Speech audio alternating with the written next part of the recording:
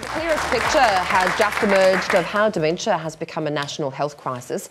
Each day, another 244 Australians are diagnosed with the disease, and it'll cost the nation $18 billion a year by 2025, unless we make some pretty drastic changes. Now, the figures are in a report from the University of Canberra's National Centre for Social and Economic Modelling.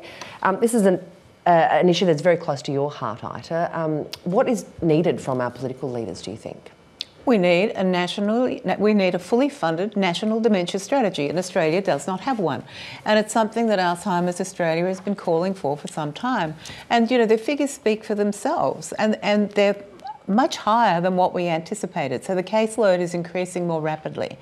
And, and we really can't afford just to sit here and do nothing. So we need the, we need the strategy, and that includes things like better care, better residential facilities, um, you know, better information, and a focus on risk reduction. There is no treatment at the moment for dementia. Um, and the only thing we can recommend is risk reduction. And we had at Alzheimer's Australia a program, Your Brain Matters. And the government cut the funding. Mm-hmm. Now, now, you ask me, why would you do that? That's just, just a, such a wrong decision. And Your Brain Matters is a pretty easy thing. You look after your heart, you watch your blood pressure and your cholesterol, you do some physical activity, you mentally challenge your brain, you follow a healthy diet, and you enjoy social activity. We are not meant to be isolated. We are meant to be with people and, you know, interact with others. So, uh, the, the call is very loud given the figures. And if it continues like the way it is without a medical breakthrough, in 40 years, more than 6 million Australians will be diagnosed with will have been diagnosed with dementia. It will cost us one trillion dollars to the economy. Jeez. We really need action, and we cannot wait for the politicians to make their mind up. This is not an argument that they should be having in the parliament. This is a decision that has to be taken for people with dementia and their carers. Yourbrainmatters.org.au if you want to find out more about what you should be doing for your brain, and 1 800 100 500 if you want to speak to somebody on the dementia helpline. Yeah. Well I went down, I, I was head yeah. of it, and I went down to do one of their meetings.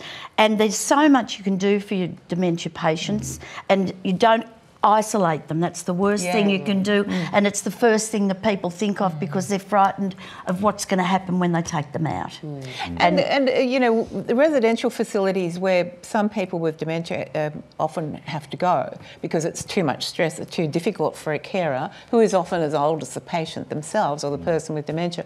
They, we need to rethink that as well because everybody is sort of put in one place together. And you can be at varying degrees of dementia. You can still have dementia and still be able to have a really good conversation with someone. Others are really not capable. They might just wander around the room mumbling to themselves. It's wrong, I feel, for everyone just to be put in right. there. I think we need to mm. have different levels of dementia care within residential facilities. This is a conversation we have to have mm. because it affects at least seven out of 10 Australian families right now.